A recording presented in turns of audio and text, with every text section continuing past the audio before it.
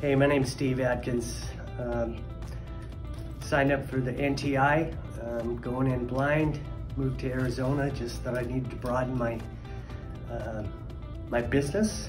I do a lot of uh, uh, maintenance work for a local company and I came in here, decided to take this course, uh, really enjoyed taking it. It was very, um, well, it was definitely was fast paced, but the, uh, the videos were uh, awesome and he had tests to follow. And then we'd come in once a week and did lab work uh, with all the videos that we watched.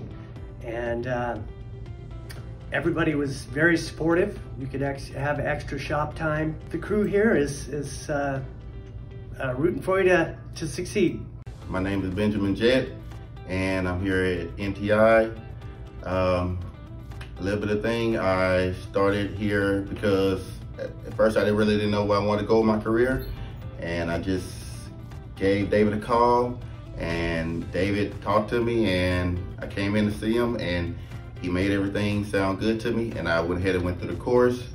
The course was a great course and even with everything going on right now these days with the COVID-19, it was still a great course.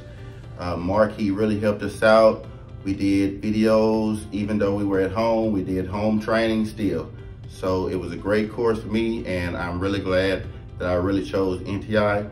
And if I were you, I would choose NTI myself. My name is Vi Peterson. Um, I chose NTI because I mostly wanted to get into HVAC and refrigeration um, career field, and but NTI seemed like a really good program with its flexibility and the ability to you know, watch the videos at your own pace and whenever you have the free time and then still being able to come in and do the hands-on training. And with Mark, he's been an excellent instructor. I mean, he's been very good at explaining things in a very simple way that's easy to understand. And um, just the, you know, the pricing and everything like that was really on par, you know, with my budget and everything like that. And so it just seemed like a really excellent option and a great opportunity. And I really just couldn't say no to it.